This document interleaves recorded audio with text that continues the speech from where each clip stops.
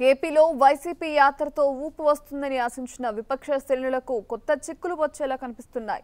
ముఖ్యంగా గోదావరి జిల్లాలో జనప్రవాహంతో మురిసిపోతున్న పార్టీకి సొంత పార్టీ నేతలే జలకిస్తున్నారు జగన్ పాదయాత్రకు దూరంగా పార్టీ నేతలు ఉండడంతో వచ్చే ఎన్నికల్లో వైసీపీ ఇరకాటంలో పడేలా కనిపిస్తోంది.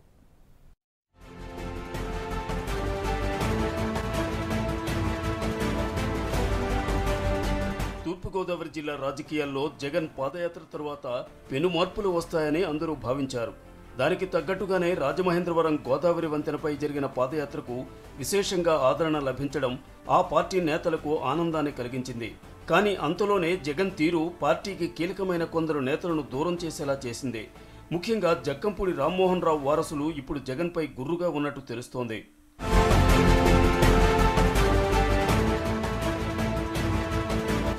వాస్తవానికి జగన్ పట్ల వ్యతిరేకత లేదని చివరి వరకు తాము జగన్తోనే ఉంటామని వైసీపీ యువజన విభాగం రాష్ట్ర అధ్యక్షుడు జక్కంపూడి రాజా గతంలో ప్రకటించారు.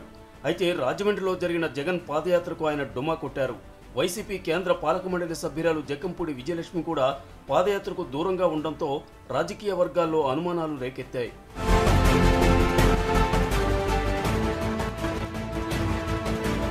అసలు విషయానికి వస్తే రాజమహేంద్రవరంలో జరిగిన పాదయాత్ర సభలో జగన్ జక్కంపూడి పేరు ప్రస్తావించలేదు.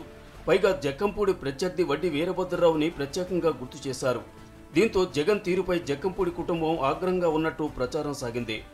గడిచిన ఎన్నికల్లో జక్కంపూడి విజయలక్ష్మి పోటీ చేసిన రాజానగరం నియోజకవర్గం అభ్యర్థిత్వం విషయంలో భిన్నాభిప్రాయాలే సమస్యకు కారణంగా తెలుస్తోంది.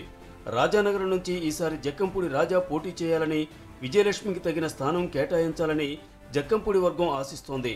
కానీ దీనికి భిన్నంగా జగన్ ఆలోచిస్తున్నట్టు సమాచారం.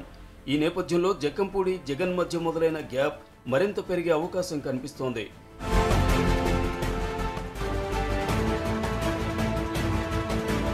ఏది ఏమైనా జగన్ తీరు తూర్పుగోదావరి జిల్లా రాజకీయాలపై ప్రభావం చూపుతోంది.